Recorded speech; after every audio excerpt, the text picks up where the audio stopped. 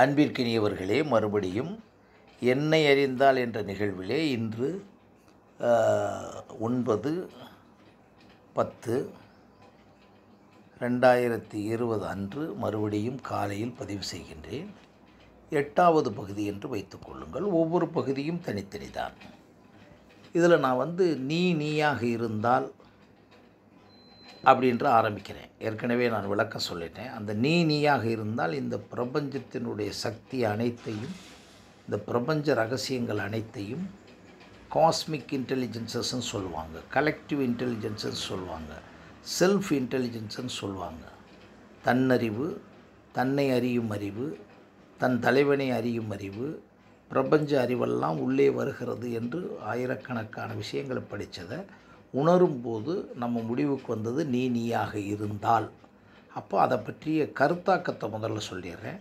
அந்த கருத்தாக்கத்திற்கு பிறகு கொஞ்சம் விளக்கம் சொல்கிறேன் நீ நீயாக இருந்து அல்லது ஆகி உன் எட்டும் ஏற்கனவே சொல்லியிருக்கேன். உன் எட்டும்ன்றது உன் மனம் உடல் அறிவு மனச்சாட்சி மரபணுத்திறன் காலம் இடம் பொருள். அந்த எட்டும் இடைவெளி இல்லாமல் ஒன்றில் பட்டால் ஒன்றில் ஒன்றுபட்டால் இந்த எட்டும் நூறு சதவீதம் ஈடுபடுகின்ற ஒன்றில் ஈடுபட்டால். அப்போ அந்த இடத்துல தான் சொல்கிறேன் ஒன்றில் ஒன்றில் ஈடுபட்டால். ஒன்றில் ஒன்றி ஈடுபட்டால். அதுவே உண்டன கட்டுப்பட்டால். ஒன்றில் ஒன்றுபட்டு உண்டன கட்டுப்பட்டு நன்றென பிடித்து கொண்டு வென்று விடுவது நன்று என்ற ஒரு விஷயத்தை இதற்காக எழுதிக்கிட்டேன். எட்டும் ஒத்துப்போகிற ஒன்றில் ஒன்றுபட்டால் வச்சுங்களா? வெட்டால் உன்னில் உன்னில் உன்னோட உன்னுள் உனக்குள் உள்ள எல்லையற்ற அறிவினையும் சக்தியினையும் உணரத் தொடங்குவாய். இது கருத்தாக்கம் வந்துக்கிட்டு இருக்கு. அவ் உணர்தலை இன்னும் ஆழமாக நுழைய உன் உலர் உன்னுள் உள்ளுணர்வு தூண்டும். அந்த உள்ளுணர்வு தூண்ட ஆரம்பிச்சிடும் இது ஆழமாக அந்த எட்டும் செய்து கொண்டுக்கிட்டே இருந்தால் ஒரு உள்ளுணர்வு தூண்டும். அவ் உள்ளுணர்வு உள்ளுணர்வு என்ன என்ற கேள்வி எழுந்தால் இந்த உள்ளுணர்வின் மூலம் அதாவது அதனுடைய ஒரிஜினல் ஆரிஜின் வந்து ஏதோ என்று உணர முடியும். இதெல்லாம் நம்ம நம்ம உணர்ந்ததை சொல்கிறோம் நான் உணர்ந்ததை. அந்த ஆரிஜின் மூலம் உன் உடல் அல்ல அறிவல்ல உயிரல்ல நீ நினச்சிக்கிட்டு இருக்க எதுவுமே அல்ல என்பது விளங்கும். உன் மனம் அல்ல வச்சுங்க எது இருந்தாலும். அங்கே அறிவு வர்சஸ் மெய்யறிவு என்பது விளங்கும். இப்படி பார்க்கும்போது தான் வள்ளுவருடைய குரலை நான் ஒப்பிட்டு பார்க்க முடியும். அதாவது அறிவுடைமை என்ற அதிகாரத்தில் எப்பொருள் யார் யார் வாய்க்கேப்பினும் அப்பொருள் மெய்ப்பொருள் காண்பு காண்பதறிவு என்ற அறிவுடைமையிலையும் அதற்கடுத்து எப்பொருள் எத்தன்மை தாயினும் அப்பொருள் மெய்ப்பொருள் காண்பதறிவு என்ற மெய்யுணர்வு அதிகாரத்திலும் இருந்த இந்த இரண்டின் அறிவுகள் வித்தியாசம் விளங்கும். கருத்தாக்கத்தை பார்த்துக்குங்க அப்புறம் விளக்குறேன். மெய்யறிவும் ஆத்மா. மெய்யறிவு என்பது இந்த இடத்துல ஆத்மா என்பதை உணர உணர. அறிவு என்பது வேறு மெய்யுணர்வில் வ- சொல்லக்கூடிய அறிவு என்பது வேறு என்பதை உணர உணர. ஆத்மா எப்பொழுது எழும் என்று தொடங்க ஆரம்பிக்கும். ஆக ஆத்மா எழுதலையும் ஆத்மா அமிழ்தலையும் உணர முடியும். ஆக அந்த மெய் அறிவு என்பது உடலல்ல மனமல்லன்னு புரிஞ்சுட்டு அது ஆத்மா என்று உணர முடியும். அப்போ அது எப்போ எழுகிறது எப்போ விழுகிறது என்பதை கருத்தாக்கம்தான். எண்ணம் இருந்தால் அறிவாக இருந்தால் நுண்ணறிவாக இருந்தால் எண்ணத்தினுடைய பரிணாமம் வச்சுங்க எண்ணம் வந்து அறிவாகவோ நுண்ணறிவாகவோ பகுத்தறிவாகவோ எந்த அறிவாகவும் இருந்து அலசினால் நிச்சயமாக ஆத்மா என்பது எழாது முழுமையாக. அதோடு தொடர்பு இருக்கும். ஆக ஆ எண்ணம் எழுந்தால் ஆத்மா அமிழும். எண்ணம் ஒடுங்கினால் ஆத்மா எழும் என்ற உணர்வு ஏற்படும். அந்த ஆத்மா எழுதலில் இவ்வுலகம் அனைத்தும் காணாமல் போய் டைம் ஸ்பேஸ் அதாவது டிரான்சென்டிங் ஸ்பேஸ் அண்ட் டைம் காணாமல் போய் நமக்குள்ளே ஒரு மெடிடேட்டிவ் ஸ்டேட் ஏற்படும். எப்போவும் தியான நிலை ஏற்படும். அங்கே absolute independent state that is பூர்ண சுதந்திர நிலை ஏற்படும். இங்கே வந்து சுவாமி விவேகானந்தர் சொன்ன விஷயத்தை நான் ஓரளவுக்கு உணர்கின்றேன் என்று சொல்கின்றேன். இப்பூரண சுதந்திர நிலையும் இப்பிரபஞ்சத்தை நம் பொறிகளுக்கும் புலன்களையும் கடந்து இந்த பூரண சுதந்திர நிலையினால் இந்த பிரபஞ்சத்தையும் பிரபஞ்சத்தை ஒட்டுமொத்த யூனிவர்ஸையும் நம் பொறிகளுக்கும் புலன்களையும் கடந்து உணர முடியும். அங்கே பூமியின் பிரபஞ்சத்தில் இருக்கும் இயங்கும் இயக்கும் அனைத்தையும் உணர முடியும். அதற்குத்தான் அறிவு ஊடே தேவைப்படுகிறது. அதாவது உடல் கருவியாகவும் அறிவு கருவியாகவும் தேவைப்படும் என்பதை உணர முடியும். அதற்கு பிறகுதான் ஒரு இடத்துக்கு வரும்.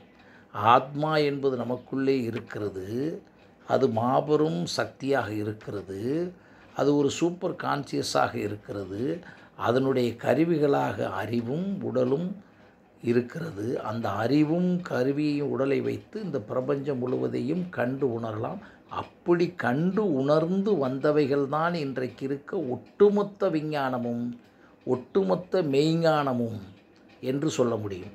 அதில் வந்து சில நெகட்டிவாக இருக்கும் பாசிட்டிவாக இருக்கும். ஆனால் இந்த பூமியில் மனிதனால் படைக்கப்பட்ட அல்லது படைத்து கொண்டிருக்கிற அல்லது படைக்க போகும் உதாரணமாக திருக்குறளை எழுதணும்னு சொல்கிறோம் அதே நேரத்துக்கு ஃப்ளைட்டையும் கண்டுபிடிச்சாங்கன்னு சொல்கிறோம் திருமூலர் வந்துச்சுன்னு சொல்கிறோம் அதே நேரத்துக்கு வேதாந்தம் வந்துச்சுன்னு சொல்கிறோம் இது எதை எடுத்தாலும் வச்சுக்கலாம். விஞ்ஞானம் சம்பந்தப்பட்ட அத்தனையும் மெய்ஞானம் சம்பந்தப்பட்ட அத்தனையும் இதுக்கு இரண்டுக்கு இடைப்பட்ட எதையுமே. அப்படி வச்சுங்க. சாப்பிடுகிறோம் சாப்பிடுவது எப்படி வந்தது? தாம்பத்தியம் எப்படி வந்தது? இப்படி ஒவ்வொன்றையும் மனிதன் தானே கண்டுபிடிச்சேன். எல்லாமே அந்த நிலைக்கு பிறகுதான் வந்திருக்கும். அதாவது ஆத்மாவு வந்து கருவியாக அறிவையும் உடலையும் வைத்து வந்திருக்கும் என்பதை உணர முடிகிறது. அந்த உணர்தலில் முழுவதுமாக மெடிடேட்டிவ் ஸ்டேட்டில் இருபத்தி நாலு மணி நேரம் இருக்க முடிகிறது என்பதை ஓரளவுக்கு புரிந்த பிறகு இந்த எண்ணெய் அறிந்தால் என்றதை நான் பதிவு பண்ணுறேன் அப்போ இதை பற்றிய விளக்கம் வந்து இது வந்து ஒரு காமன் கருத்தாக்கத்தை கொடுத்துருக்கேன் இப்போ. உங்களுக்கு என்ன கொடுத்துருக்கேன்? காமன் கருத்தாக்கத்தை தான் கொடுத்துருக்கேன் முழு கருத்தாக்கத்தை கொடுத்துடல. ஆனால் கருத்தாக்கத்தினுடைய இந்த காமனாக நான் பேசுகிற கருத்தாக்கத்தை கொஞ்சம் எளிமையாக விளக்கணும் இல்லையா? ஒரு கவிதை மாதிரி இப்போ சித்தர் பாடல் மாதிரி படித்து விட்டோம்னா போச்சு. ஒன்றில் ஒன்றுபட்டு உண்டன கட்டுப்பட்டுன்றது மாதிரி எல்லாத்தையும் படிக்குவேன் நான் சொல்லி. ஓரளவுக்கு நான் வந்து எளிமையாக நான் உணர்ந்ததை சொல்லும்போது யாருக்கும் பயன்படலாம் என்பதற்காக சொல்லுகின்றேன். அந்த நீ நீயாக ஆகி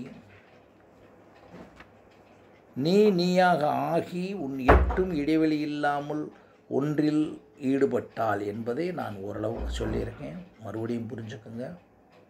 அப்படி வரும்போது உங்களுக்குள்ளே உங்களை அறியாமல் ஸோ முதல் ஸ்டெப் இப்படின்னு வர்றேன். நீ நீயாக இருந்த முதல் ஸ்டெப். நீ நீயாக இருந்த பிறகு உன்னுடைய அந்த இருந்து இயங்கும் போது இரண்டாவது ஸ்டெப். அந்த இரண்டாவது ஸ்டெப்புக்கு பிறகு நீ வந்து காலத்தையும் இடத்தையும் மறப்பது மூணாவது ஸ்டெப். அந்த இ- காலத்தையும் மடந்து இருந்து வெளியே வந்து ஆஹா இவ்வளவு நேரம் போயிருக்கேன்னு சொல்லி உன்னுடைய செயலே தியானமாக இருப்பது அடுத்த ஸ்டெப். அந்த செயலே தியானமாக இருக்கும்போது உடலெல்லாம் எனர்ஜியாக புத்துணர்ச்சியோடு இருந்தது அடுத்த ஸ்டெப். அதுக்கு பிறகு இதை நம்ம இப்படி செய்கிறோமே இந்த இந்த ஒட்டுமொத்த எட்டியும் வச்சு இயக்கணுமே. இதுக்கு இந்த எனர்ஜியை நமக்கு கொடுத்தது எது என்று உணர்வது அதாவது ஆத்மா என்று உணர்வது அடுத்த ஸ்டெப். அப்புறம் ஆத்மா வந்து எப்படித்தான் எழுது அப்படின்றத கண்டுபிடிக்கிறது அடுத்த ஸ்டெப். அதுக்கு எண்ணம் இருந்தால் எழமாட்டேன்னுது முழுமையாக. ஆனால் எண்ணம் ஒடுங்கினா அப்போ எண்ணத்தை ஒடுக்குவது எப்படி ஸ்டெப்பு? அந்த ஒடுக்கும் போது எப்படி வந்து நம்மளுடைய மனம் உடல் அறிவு மனச்சாட்சி மரபணத்திறன் காலம் இடம் பொருளோட இந்த உடலோடு ஆத்மா எப்படி முழுசாக இன்வால்வ் ஆகி இயங்குது என்பது அடுத்த ஸ்டெப். இதெல்லாம் இயங்கும்போது நாம் நினச்சி பார்க்க முடியாத படிக்காத கேள்விப்படாத எல்லாமே நமக்குள்ளே வந்து நுழையும். இப்போ திருவள்ளுவர் வந்து இவ்வளவையும் படிச்சுட்டா செஞ்சுருக்க முடியும்? அவர் மினிஸ்டராக இருந்துட்டா பண்ண முடியும்? மீனாட்சி அம்மன் கோயிலை கட்டினவர் என்ஜினியராக இப்படி பார்க்கும்போது இதெல்லாம் தோன்றி இருக்கிறதல்லவா அந்த தோன்றல் என்பது என்னான்னு புரிஞ்சுக்க அடுத்த ஸ்டெப் அப்புறம்தான் இந்த பிரபஞ்சத்தில் இருக்கக்கூடிய அண்டத்தில் இருக்க அத்தனையுமே இந்த உடம்புக்குள்ளே இருக்கின்றது அடுத்த ஸ்டெப் அதற்கு பிறகு அதை எப்படி எடுப்பது எப்படி இந்த சமூகத்தில் இயக்குவது என்பது அடுத்த ஸ்டெப் அப்புறம் ஒரு பூரண சுதந்திரமாக இருப்பது எந்த நிலையிலிருந்து இதெல்லாம் தொடங்குதுன்னு உணர உணர ஒவ்வொரு ஸ்டெப்பாக கலந்து போகும்போது பிறப்பின் ரகசியம் தெரியும். ஓ மனிதனாக பிறந்தது இதற்குத்தானோ என்று தெரியும். அப்போ இதுக்கெல்லாம் அடிப்படையாக உள்ளுக்குள்ளே இருக்கக்கூடிய உண்மை அன்பு கருணை இரக்கம் எல்லாம் தெரிய ஆரம்பிக்கும். அப்போ இந்த உடம்பு எப்படி பில்டப் ஆகிருக்குன்னு கண்டுபிடிக்க முடியும்? அந்த உடம்புக்குள்ளே இருக்கக்கூடிய மூளைக்குள்ளே இருக்கக்கூடிய பத்தாயிரம் கோடி நியூரான்களை எப்படி இயங்குதுன்னு பார்க்கணும்.